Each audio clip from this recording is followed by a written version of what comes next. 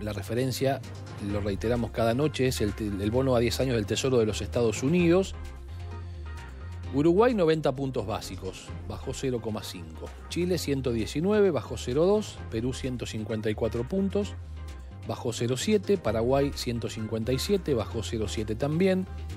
Brasil 208 puntos básicos, bajó 0,5. Costa Rica 211 sin cambios. La República Dominicana también 211 puntos básicos, su riesgo país, bajó 0,7. Guatemala 213 bajó 0,8, Panamá 271 bajó 0,6, México 307 puntos básicos, una baja del 0,5, Colombia 322, baja del 0,4, Honduras 338 puntos básicos, el riesgo país de Honduras bajó 0,6, se mantuvo en 419 puntos el riesgo país de El Salvador, Argentina 361 puntos bajó a 720, perdón, 3,61% de retroceso, 720 puntos básicos.